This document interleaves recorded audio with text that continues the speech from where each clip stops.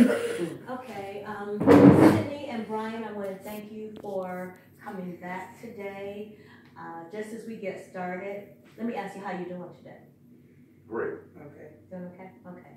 Um, it's been a couple weeks since I last saw you, and I'll just recap to uh, sort of integrate what we've been talking about and to give you an opportunity to share where you are today and how you'd like to see this session go forward. Okay, so as I understand, um, as you shared, you are the pastor of a church, and this is your new first lady or bride. You've been married now about three months. Three months. Yeah, and your daughters currently live in Alaska, and they're coming to visit. And Sydney, this is your first time meeting Brian's daughters, and Correct. you've been you've been experiencing a little bit of Try not to laugh. nervousness or anxiety about this first meeting. Um, as you shared in our last sec- session, that this brought back some memories of um, a sort of competitive spirit that you and your sisters had growing up, being uh, vying for the attention of your dad, and now you feel like you have some females coming into your life, and you feel like you might have to compete again with your husband now for his attention. And Brian, you shared your concern because uh, Sydney shared with you in the last session that she confessed that during the last communion service, she said she sneaks some wine home and she's been sipping this wine when she's alone. Whenever she starts to think about your daughters coming to visit. Okay, so have you two talked about this very much since our last session? Well, we had a little conversation about it, but yeah, we talked about it a little bit. Trying to get an understanding of what's going on. Okay, so Sydney, would you like to share where you are today since our last session with all this new information that what you shared uh, in, in the way of a confession? What does that I done for just you? still feel the same. Okay. Um, have you felt the need to have a sip? I want to have a sip right now. Okay, So okay. sorry. All right. So you want to? Is, that's not. You're not sitting it. Oh, okay. All right. All right. Just, just, just make Lemonade. Okay. So, um, has there been a history prior to this that where you've been nervous and it's led you to want to have something to drink? You know? So all this is brand new. Yes. Okay. Does that raise some concerns for you? Yes. Okay. What What are you feeling when you think about this extra layer now that involves alcohol? I don't think about the alcohol. I think about the issues that's going on. Okay. So if I ask you to think about the alcohol, has that had in your mind any negative impact on your life at all? No. Okay. Because initially you didn't share that with your husband, Right. but then you finally did. So I didn't what, want him to judge me. Oh, okay, all right.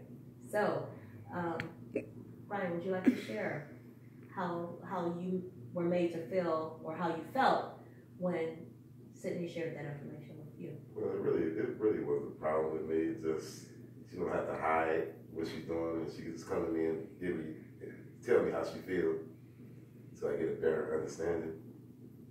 Okay.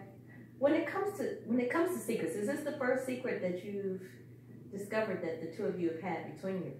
Well, no, we always keep be honest with each other, tell they, tell each other how we feel, and you know how we, what we think about situations. Okay. So how are you feeling today, both of you? Yeah, it's a, it's not a big deal, but I wish she would have came to me first and told me how she, how she felt. Okay. And how are you feeling today, Sydney, about your new stepdaughters coming to town? Because it's now, they're coming in what, two weeks now? Yeah, about two weeks. Yeah, so how are you feeling? I mean, it's okay. So you're getting more comfortable Yeah. with that? Is there anything that Brian has done to help you more comfortable We with talked about it. You talked about it, okay. So the communication is improving, would you say? Yes, because communication is everything. Okay, Without that, you have nothing. all right. Because initially, you did not necessarily feel comfortable to share your discomfort Right. But what you're saying today is you're feeling more comfortable about sharing Okay. Now, um, let me ask you this, because you confessed that you were drinking behind your nervousness. Um, are you still experiencing the same level of nervousness that you were before? No, it's a little better. Okay. Because a minute ago you said you felt like taking a sip. Was that just That was just. okay? I just want to make sure um, because what I'd like to know is, do you feel the same need to have a drink as you did when you had thoughts of your new stepdaughters coming to town? No, not since we talked. Okay, so the communication has really helped to move you to a more comfortable place. Okay, is there anything else that the two of you um, are having any issues with as it um, as we move closer to this date of their arrival? Have you spoken to them at all? No. Okay, have you spoken to them? yes, I have. Are they excited about meeting? Yes, they're very excited. They're very Okay. excited. Okay, so because they're they're both adult age, right? Mhm. Okay, all right, and you don't have, you currently don't have any children, but, um, what, so what are your plans when they, when they arrive to town, what are you planning to do? Well, we probably go out to eat or something, and just talk and just see what's going on in their life and let them know what's going on in, my, in our life. Okay, are you planning to have them stay with you? No. They're going back home. No, no, I meant, I meant during their visit, during Oh, their visit, are they gonna stay with you, or? well, they probably stay for a couple of days. Yeah. Okay, so you have other family here that Yeah. they'll be able to visit with, Mhm. okay, how do you feel about that? Uh, It's the same. Okay, any special plans while you're, to help you sort of, uh, get, Well, maybe go when, when. I'm going to work, maybe they could go out and do things together. Maybe go shopping, like ladies like to do, things like that. okay, all right.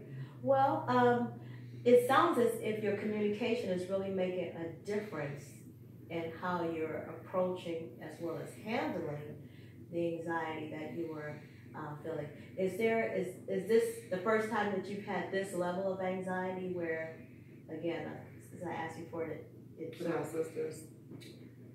Um, how, how have you handled um, anxiety in, at other times in your life? Communication. Okay, so this is something you were able to easily go back to, Mhm. but I guess because of the newness of this relationship, you didn't necessarily.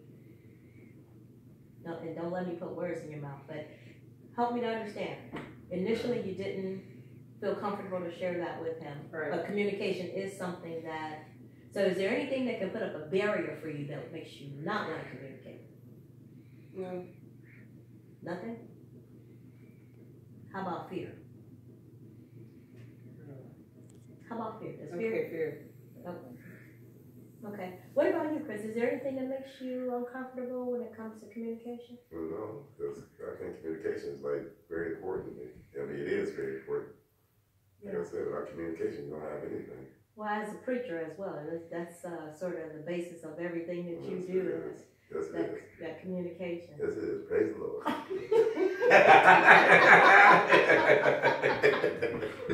yeah, communication is everything. Yeah. Um, well, I, I appreciate both of you sharing today, and it sounds as if um, you're focusing on having open communication, and it sounds as if you were very receptive of and sensitive to her nervousness or her anxiety as it pertains to meeting your daughters. And I want to thank both of you for coming in today, for sharing with me. And as we go forward, I'd like to give you both um, an assignment so that on our next session, you can come back and report on this because it's clear to see that um, you communicate more than your wife. Mhm. Uh, I guess that's why you're the preacher Right. and uh, she's she's first lady, supportive.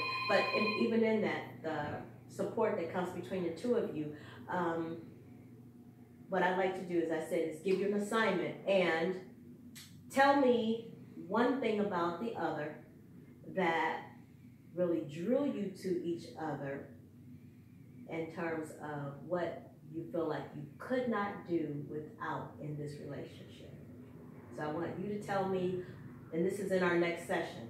This won't be today, but when we come back, And I want you to communicate and, and actually um, interview one another because whatever it is that you decide, this is the one thing about you that I could not do without, to really be able to come back and from not only from your perspective, but to interview that other person and find out what it is that really brought them to that place that makes that aspect of their life so powerful. Okay? So when you come back, you'll give me a report on what makes your day, what brings that sunshine that from the other person, and then be able to really articulate, not only from your perspective, but to help them to understand not only do you appreciate it, but how did they get to that place? What makes that powerful in their lives? Okay? All right. Well, I'd like to thank you, Sydney and Brian, for your time together to, with me today. I really appreciate it, and um, may God bless you on this new venture as you look to expand the dynamic of your relationship, bringing in these two girls. Thank you. Thank you. All right. Uh, good job.